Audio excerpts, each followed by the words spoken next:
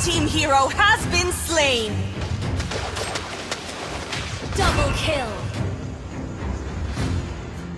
Triple kill!